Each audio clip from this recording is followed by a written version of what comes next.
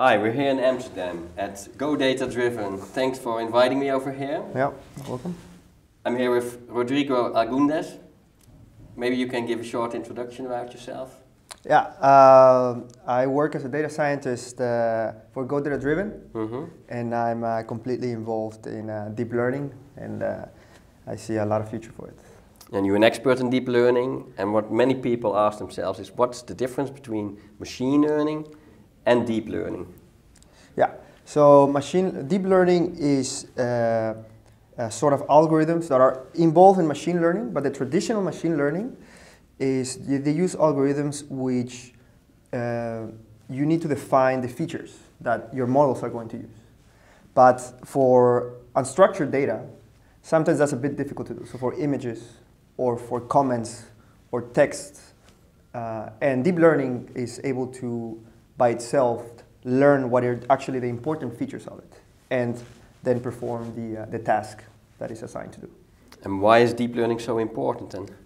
Yeah, because it can deal with this sort of unstructured data that, that, uh, that has to do with sort of human interaction that now I think consumers want from their devices. You want them to be able to understand you when you talk to them. Uh, so that's impossible to do uh, with any other type of algorithm. Uh, you want them to, uh, to be able to respond as a human-like. And um, it's so important for, for many of the, uh, of the topics, let's say, for medicine also, how to interpret MRI and have diagnosis, for example. Um, and in general, uh, the use of the data, which is unstructured, uh, you can completely leverage it which is type of algorithms of deep learning. And you were talking about the human like interaction. How can deep learning really change the customer experience? Yeah.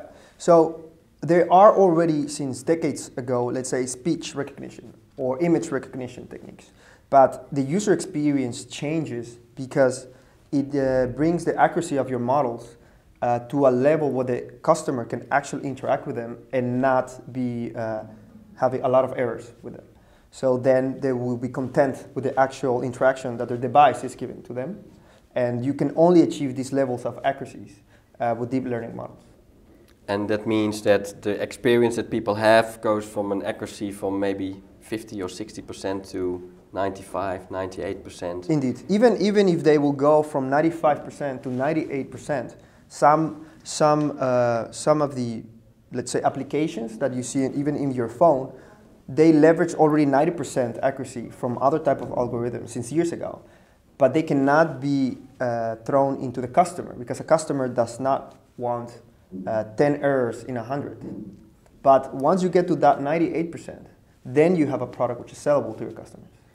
And why should other experts or experts wannabes also get involved in deep learning? You're organizing a hackathon, so what do you advise to them?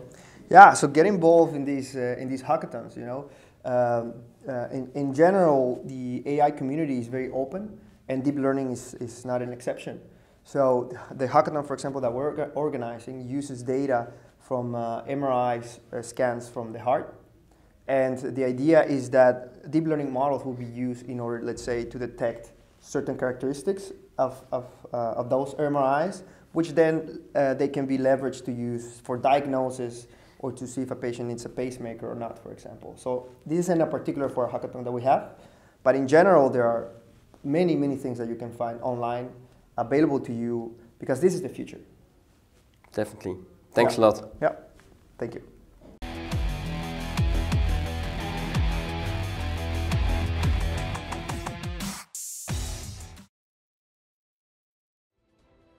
Enjoy this video? Don't forget to like, subscribe, share and get notifications of my new video.